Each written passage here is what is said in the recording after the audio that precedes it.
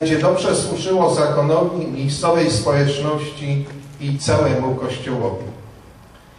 Odpowiadając na wezwanie błogosławionego Jana Pawła II oraz na wielką potrzebę duchowości, która rodzi się w sercu współczesnego człowieka, chcielibyśmy w tym miejscu dzielić się z przybywającymi tutaj osobami naszym doświadczeniem wiary, modlitwy oraz bogactwem duchowym karmeru, służąc każdemu człowiekowi oraz rodzinom w odkrywaniu i przeżywaniu własnego powołania w dzisiejszym świecie.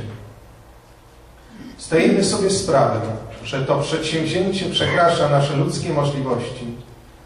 Jednak głęboko wierzymy, że jest to dzieło Boże i to Bóg sam z pomocą życzliwych ludzi doprowadzi je do końca.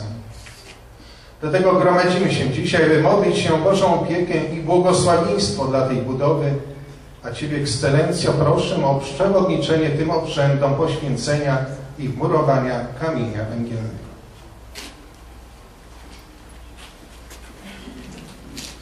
Módlmy się. Boże, Ty tak zbudowałeś swój Kościół, że wzniesiony na fundamencie apostołów wspiera się na kamieniu węgielnym, którym jest sam Jezus Chrystus. Spraw, aby lud zgromadzony w Twoje imię Ciebie czcił, Ciebie miłował, szedł za Tobą i wzrastał jako świątynia Twojej chwały, aż za przewodnictwem dojdzie Twoim do niebieskiej Ojczyzny przez Chrystusa Pana naszego. Amen.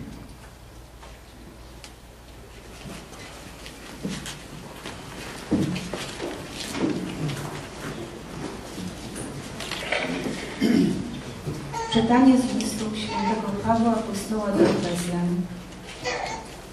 Ale teraz w Chrystusie Jezusie, wy, którzy niegdyś byliście daleko, staliście się bliscy przez krew Chrystusa. On bowiem jest naszym pokojem. On, który obie części ludzkości uczynił jednością, bo zburzył rozdzielający je mur wrogość.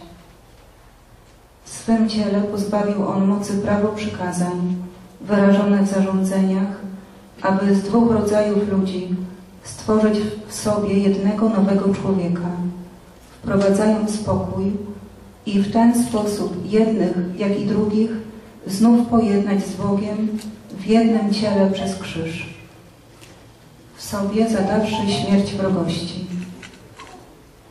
A przyszedłszy zwiastował pokój wam, którzyście daleko i pokój tym, którzy blisko, bo przez Niego jedni i drudzy w jednym duchu mamy przystęp do Ojca.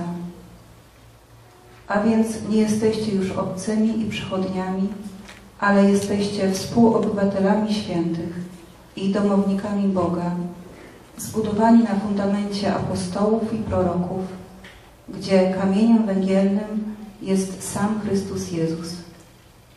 W nim zespalana cała budowla rośnie na świętą w Panu świątynię. W nim i wy także wznosicie się we wspólnym budowaniu, by stanowić mieszkanie Boga przez Ducha.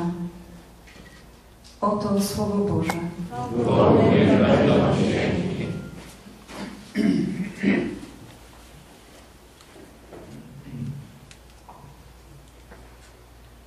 坚固且牢固。